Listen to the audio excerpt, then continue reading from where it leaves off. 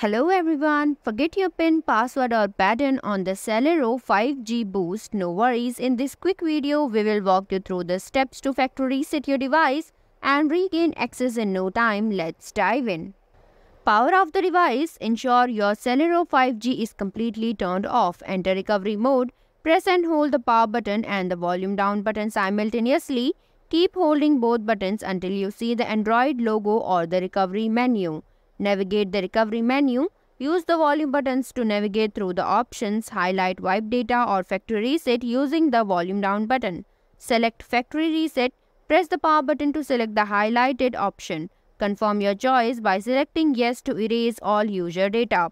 Reboot your device. Once the reset is complete, select reboot system now from the recovery menu. Your device will restart and be restored to factory settings. Thanks for watching. If you like the video, please hit the like button. If you want to see more videos, hit the subscribe button.